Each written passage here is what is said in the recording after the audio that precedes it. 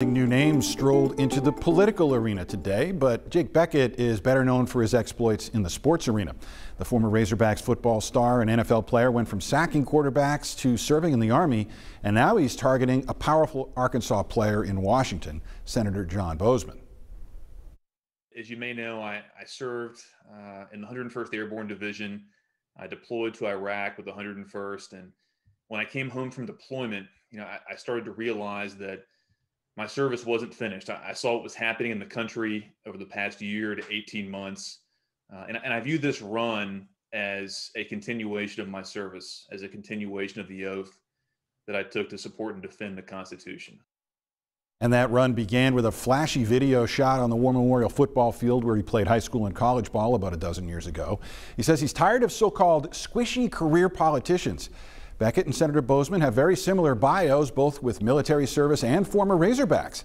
But Bequette says the state wants conservative politics in a younger package.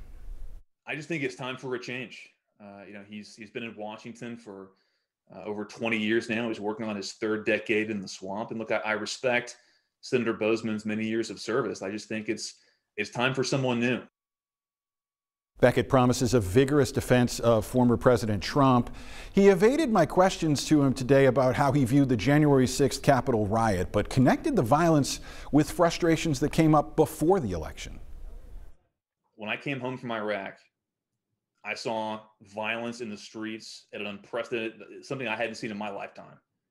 And that was very disturbing to me. Look, what when people talk about January 6th and don't address what happened in the country in the months preceding that and the violent crime that we continue to see in this country, uh, you know, it makes me very upset. It is at least the fourth primary challenger heading into next May, and that includes former candidate for governor Jan Morgan.